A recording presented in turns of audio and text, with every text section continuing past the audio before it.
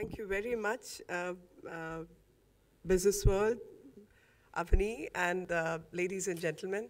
I feel women are very, very creative force, no matter which society we are in. And that creative force is probably missing the due place which they need to have. But if economy needs a boost, this creative force needs to take a center stage. And until and unless this creative force takes the center stage, the economy cannot really get the boost we are looking for. So whether it is Skill India, it's Make in India, to more employment generation opportunity, to 9 to 10% GDP, which I'm looking at, uh, you need this workforce to join hands with the men folk. And when I say join hands, not necessarily mean that uh, the time and the schedules have to be identical. In fact, uh, I was just quoting an example from Karnataka, and which sets actually the uh, right paradigm as to how we need to operate these systems. Uh, when Karnataka was booming in terms of uh, uh, industrialization, more jobs, not just IT sector, but all over there was a feel-good factor. At that time, women uh, who, were, who used to work in the industrial sector approached the government and said, we want amendment to the laws. Because under the Factory Act, they could not get an employment in the evening hours. They had to be, they could only do morning shifts. Um, and they fought that hard battle. And the logic behind was that we want to work late nights.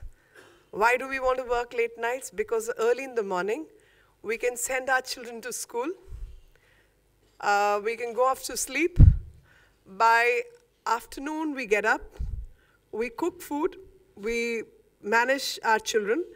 Evenings, when our husbands come home to take over the family responsibilities, after we've cooked the evening meal, that's the time we can leave for work. So we need a late night employment, and the government actually tweaked the rules. Because so many women were employed and industry needed them, and they were doing two shifts, one in the morning, one in the evening. Morning shifts, usually men would come for work. Evening shifts, women will come for work. And then to and fro transport used to be provided because I think safety and security of women is a major concern in every society across the world. And I think the only impediment, because whenever people discuss empowerment of women, empowerment of women, I am someone who looks down upon such concepts and contexts because I personally feel women are pretty empowered. They know exactly how to make their life. They know exactly what to do. They are very, very wise women who run the family to business to everything else. The only thing one needs to be concerned about as a society, as business people, as any sensitive human being, is their safety and security. So once you give them safety and security and you nurture their talent, they will manage everything in life. They will just leave them alone. They will do whatever it needs. Look after the family, look after the business, look after the staff, go, come back, drive. They'll do everything because they're good at multitasking. So only thing one needs to be concerned about is safety and security. And when I discuss safety and security, it comes uh, with a a huge sense of pain because the way we are getting painted all over the world. And I'm, I'm making, I'm taking it to a detoured position, but I thought uh, it's a nice way of interacting with friends because everyone in this audience is a wise person, is literate, and understands uh, many things. But somewhere the messaging is not going right. And uh, the messaging I, uh, from, from my side, the message I want to convey, uh, especially when someone like me who has, uh, who has been concerned for the cause of women, has done ample work in this field, uh, worked uh, with victims of sexual assault, and worked for the freedom of press when press was denied entry into the trial court while covering uh, Nirbhaya's case. I was the one who fought that case to get the press into the uh, halls. Uh, after all that service one did to one's service, one is being painted as some horrible government, which is banning things for the sake of banning.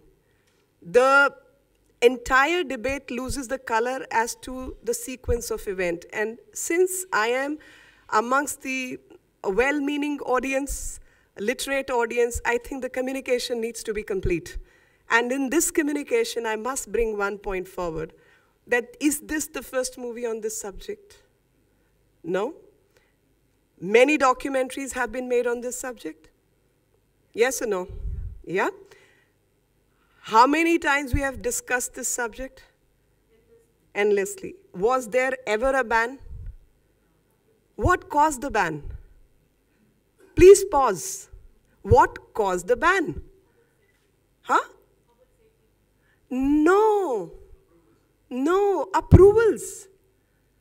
Somebody comes from outside the country, violates the terms of the visa, violates the undertaking which she had to give to the authorities in jail, which is a high security jail, stating that this is for social cause and it is not for commercial cause. Now, if it was meant to be for commercial cause, I think I could give it to Businessworld, let Businessworld sell it across the world, make some money and part with me. Isn't it? Why would I give it to BBC?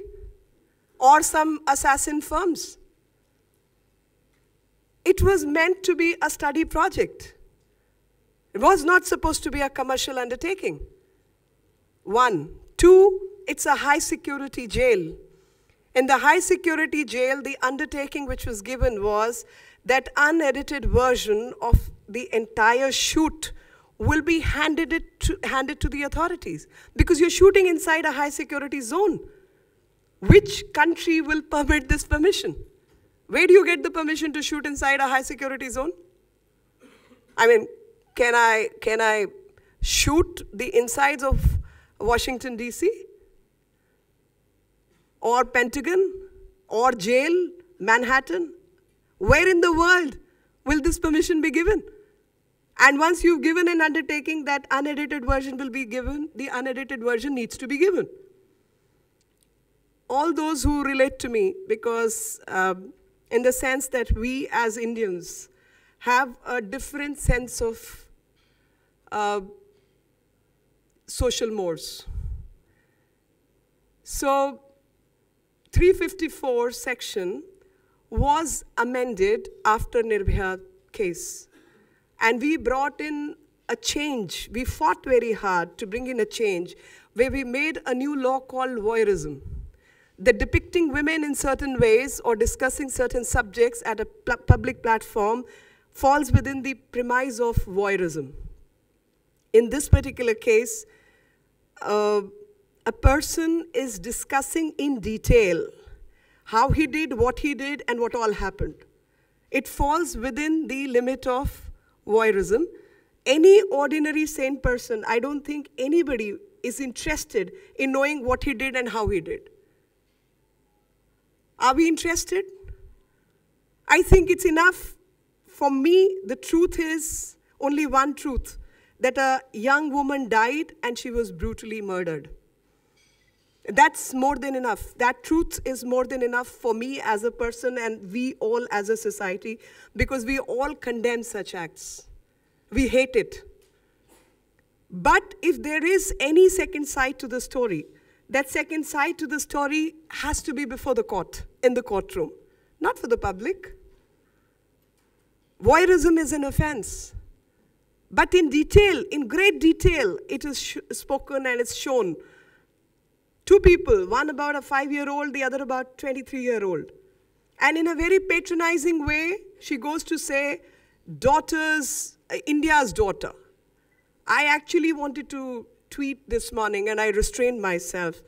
I say, you know, if I look at the numbers of rapes happening in UK, happening in US, happening in EU, we are far better. Both in total numbers and also in percentage and also the time frame. Now, who's speaking for those ladies? So I wanted to say, I want to adopt the, And we, in any case, are a big family. All of us enjoy big families. All of us, you know, ये मेरी बेटी जैसी है, ये मेरी mom जैसी है, ये मेरी auntie है. We, we all enjoy that. So I don't mind being one too. Many who don't get the voice in their own country. But I restrain myself. I say, you know, once you are in the position that I'm in, every word you say will be taken out of context and some other stories across the world will get woven. So I said, forget it. Uh, but uh, somebody did tweet this morning, Britain's daughter. And I retweeted that. And it talked about the great numbers. The rate of rape in those societies is close to 28 and 27 percent. And 30% in EU. And the conviction rates are far lower. Conviction rate in India is 46 point some odd percent. There it is 26 odd percent or less. So this kind of globalization of my misery, I'm not saying we are 120, 25 crore odd people. We fought a very hard battle post Nirbhaya we brought death penalty to this country for these offenses. We tweaked 354. We all protested by millions on, the in, on India Gate lawns. There is a collective sense of hatred for such crimes. Now you underplay that and you say, oh, not just a rotten apple, but the entire barrel is rotten give an interview to a newspaper here and say it's a sick society. These kind of generalization obviously hurt a person like me who feel, uh, who take pride in who they are, who are very proud of the kind of work they do, uh, who look at the system and use the system for the betterment of social setups, and who understand the layers within which my society operates. I can, I can guarantee that anyone in this audience, if I go forward and I quietly say that, look, here is a girl who's been molested, need to help. I don't think anyone in this audience will say no. It's simply people will just come out pouring, okay, what can I do? I mean, you want me to send some clothes, you want me to send some food, you want me to mm, uh, give employment. I, that, that's the kind of goodwill this society has for each other. We are very warm people. That's the strength we have. So underplaying all the strength and always globally maligning me is something I hate because I think I, we are a very, very strong country and we are a very, very morally correct society. We are a correct society.